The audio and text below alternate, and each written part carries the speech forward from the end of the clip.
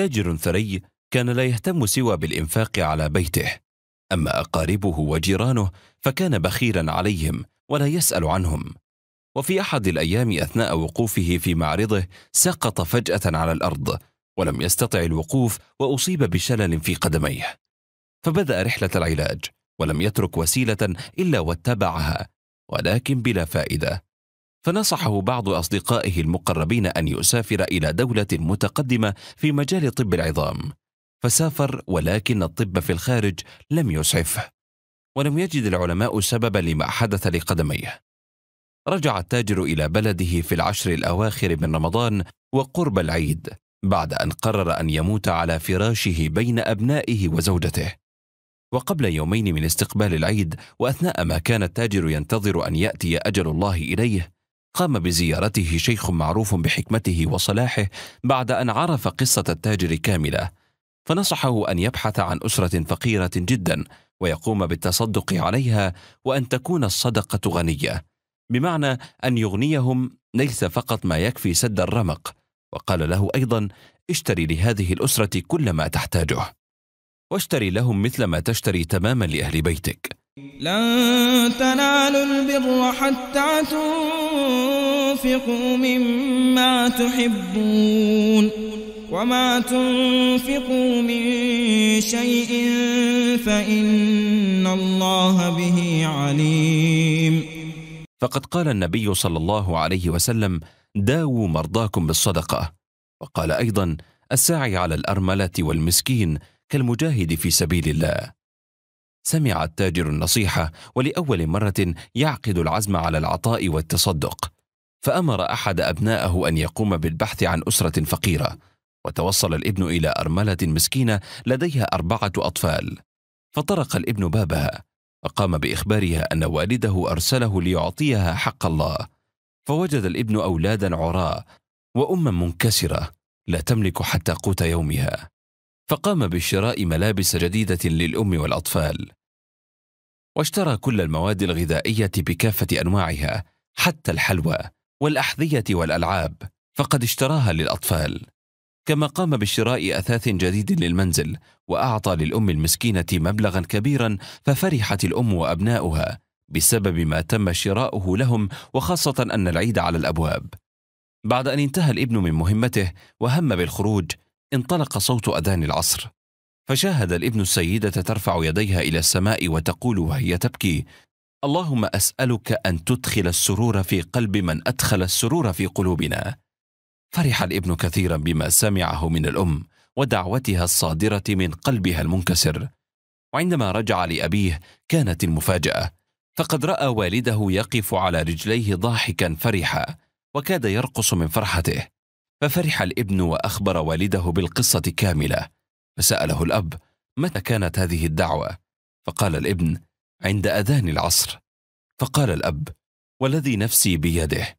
إنني شعرت في تلك اللحظة وفي نفس توقيت الأذان بأن ملكا مسح على قدمي. ثم سجد الأب لله شكرا ووعده بالتصدق وقضاء حوائج الفقراء واليتامى والأرامل وكل محتاج.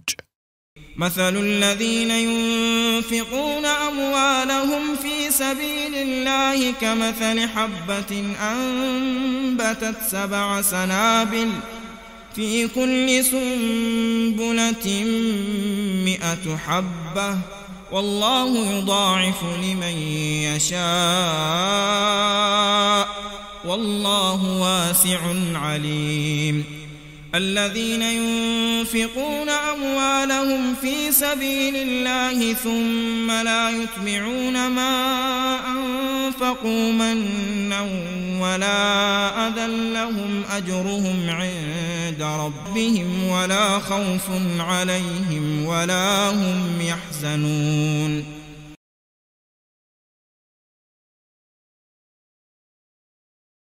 صاحب محل لبيع الملابس عرف ببخله الشديد وعدم الرفق مع البسطاء من زبائنه حتى أنه لا يخرج زكاة لماله ولا يشفق على أرملة ولا يتيم. غضب هذا البخيل غضبا شديدا بعدما ظل أكثر من أسبوع لا يدخل محله إنسان بينما كان يشاهد جميع المحلات المختلفة في نفس منطقة محله مزدحمة بالزبائن. فذهب ولأول مرة إلى مطعم بالقرب من محله لشراء وجبة الغداء وأثناء انتظاره شاهد رجلا فقيرا يسأل صاحب المطعم عن ثمن الدجاجة المطهية وعندما علم سعرها حزن لأنها تساوي ضعف ما معه.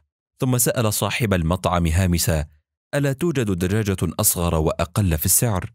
أخرج صاحب المطعم هاتفه ليرد على مكالمة وأشار للرجل الفقير وهو يبتسم أن ينتظره ويطمئنه والسرور على وجهه. وبعد دقيقة انتهت المكالمة.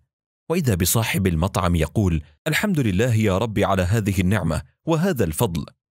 ثم أحضر دجاجتين كبيرتين مشويتين وقدمهما للرجل وقال له ما أجمل هذا الوجه لقد رزقني الله بولدين توأمين وهاتان الدجاجتان هدية مني لك يا صاحب الوجه البشوش. أخذ الرجل الفقير الهدية وفرح بها ودعا له ولأسرته بالخير لدقائق ثم خرج من عنده في غاية السعادة. وهنا اقترب الرجل البخيل من صاحب المطعم ليبارك له على قدوم التوأمين. ففوجئ بصاحب المطعم يقول له وهو يبتسم لم يتصل بي أحد ولكني فكرت في طريقة أساعد بها الرجل لأنه يحتاج طعاما لأسرته ويقف في خجل لضيق ذات اليد. فاستخدمت هذه الحيلة كي أحافظ له على ماء وجهه ولا يشعر بأني أتصدق عليه. فبالتصدق وبدعاء مثل هؤلاء يرزقنا الله. أما البخل فقد حذرنا الله منه ومن عواقبه كما قال النبي صلى الله عليه وسلم اتقوا الشح فإن الشح أهلك من كان قبلكم. وللأسف فإن البخيل يعيش في الدنيا عيش الفقراء ويحاسب في الآخرة محاسبة الأغنياء. وقف الرجل البخيل في حيرة وحزن وشعر أن صاحب المطعم يقصده هو. وبعد لحظات أفاق وبكى وعاد إلى محله وهو يستغفر الله ويتوب إليه. ويعاهده أن يتصدق ويجود بكرمه على الفقراء والمحتاجين لينال رضا الله ويوسع له في رزقه. مثل الذين ينفقون أموالهم في سبيل الله كمثل حبة أنبتت سبع سنابل في كل سنبلة مئة حبة. والله يضاعف لمن يشاء. والله واسع عليم.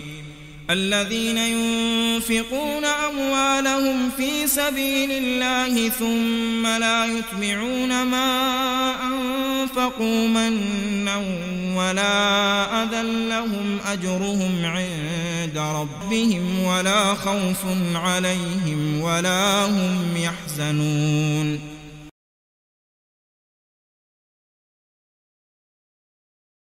لم تتخيل سالي الطالبة الجامعية أنها ستصبح من المترددين على محاكم الأسرة. فقد ارتبطت بقصة حب مع شاب يدرس معها في إحدى الجامعات الخاصة وظلت علاقتها به تزداد إلى أن سافرت معه في إحدى المرات إلى العين السخنة وأخبرت أسرتها أنها في رحلة تابعة للجامعة ورغم اعتراض أخيها الأكبر على سفرها وأخبرها بأن سفرها لا يجوز بدون محرم وأنه حرام شرعا إلا أن تساهل والديها معها جعلها تسافر. وفي تلك الرحلة تم زواجها العرفي بصديقها الذي أسمعها كلامه المعسول وجعلها تضعف معه وتخطئ في حق نفسها وأسرتها وتوقع هي وصديقها على ورقة من كشكول وتسلم بعدها نفسها له ومن بعدها تصبح لعبة في يد صديقها. وقل للمؤمنات يغضضن من أبصارهن ويحفظن فروجهن ولا يبدين زينتهن إلا ما ظهر منها. بعد أيام من زواجها العرفي دون علم أسرتها فوجئت بشقيقها الأكبر يأتي إليها مبتسما والفرحة تملأ وجهه ويخبرها أن ابن عمها وزميله في العمل فاتحه برغبته في الزواج منها. وأخبرها أنه سعد جدا بهذا الخبر لما يتمتع به ابن العم من أخلاق كريمة ومن التزامه الديني. وتمنى شقيقها منها أن توافق ولا تضيع هذه الفرصة. اعتذرت سالي لشقيقها وأخبرته بأنها لا تفكر في الزواج إلا بعد أن تنتهي من دراستها. فتقبل شقيقها الأمر ولم يبين حزنه لها وغضبه من قرارها. خاصة وأن رحلة دراستها ستنتهي بعد أشهر قليلة. وبعد انتهاء العام الدراسي طلبت سالي من صديقها والذي تزوجها عرفيا أن يتقدم لها رسميا ليخفف عنها ضغوط أسرتها كلما تقدم لها عريس. ولكن صديقها رفض وأخبرها بأنه سيسافر إلى أوروبا ثم قام بتطليقها. في هذا اليوم حاولت سالي الانتحار. بابتلاع كمية كبيرة من الأقراص ولكن تم إنقاذها داخل المستشفى وعند عودتها للبيت لم تجد سالي أمامها سوى إخبار أسرتها بزواجها ثم طلاقها وندمها على خطئها في حقهم. وعندما علم ابن عمها بما حدث قال لشقيقها سأستخير الله في أمر شقيقتك وإن شرح الله صدري سأتقدم لها في أقرب وقت. يا أيها الذين آمنوا اتقوا الله ولتنظر نفس ما قدمت لغد واتقوا الله إن الله خبير بما تعملون ولا تكونوا كالذين نسوا الله فأنساهم أنفسهم أولئك